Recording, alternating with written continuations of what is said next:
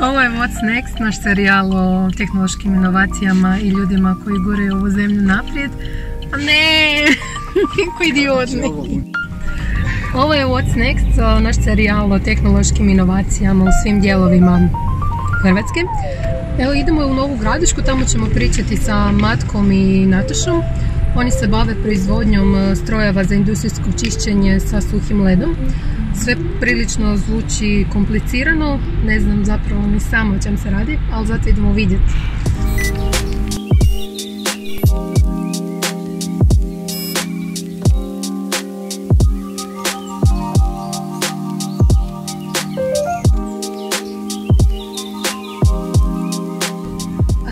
Borko, fotograf i naša snimateljska ekipa Renata i Filip. Njihova tvrtka Hladni val jedna je od najinovativnijih u Hrvatskoj. Izvoze po cijelom svijetu, a ti strojevi koji proizvode važni su za čišćenje u svim industrijama, od automobilske do avijacije. Matko i Nataša su godinama živjeli u Južnoafričkoj republici, tamo su zapravo i pokrenuli taj svoj biznis sa suhim ledom i u nekom trenutku su odlučili ipak vratiti se u Hrvatsku, u Novu Gradišku i tamo su preselili kompletnu proizvodnju.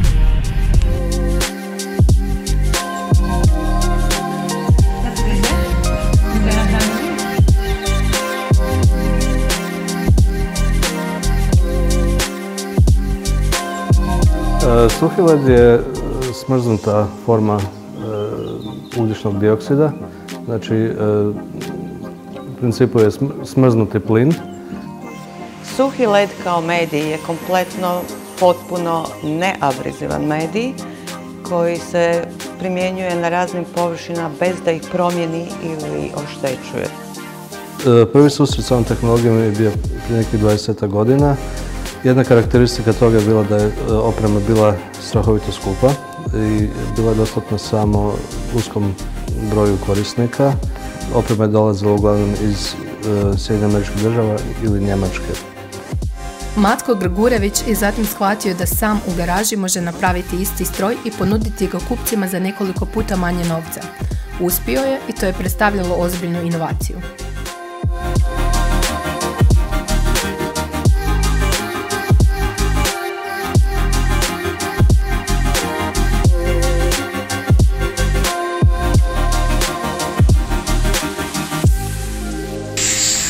Sada ću staviti 360 Huawei kameru na mobitel i posnimiti pogone.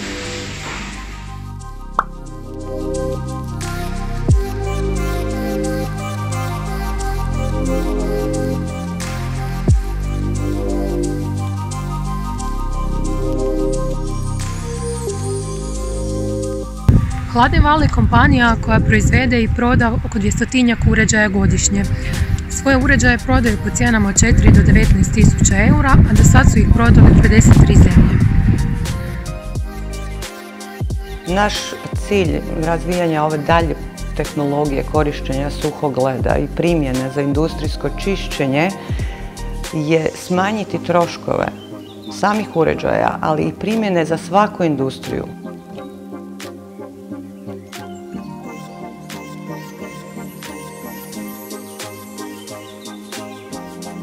Zadivljeni smo ljudima u hladnom valu, a sad se vraćamo nazad. No moramo na brzinu stati i napuniti naš hibridni auto, a Borko će za to vrijeme u redakciju poslati fotke internetom. Srećom povezani smo na najbržu mrežu. Dok čekamo, imam zanimaciju za zujati po parkingu.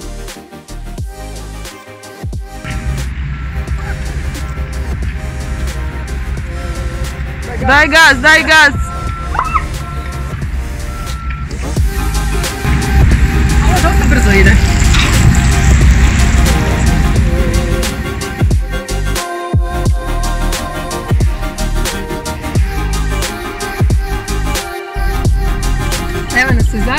Gotovi smo za danas.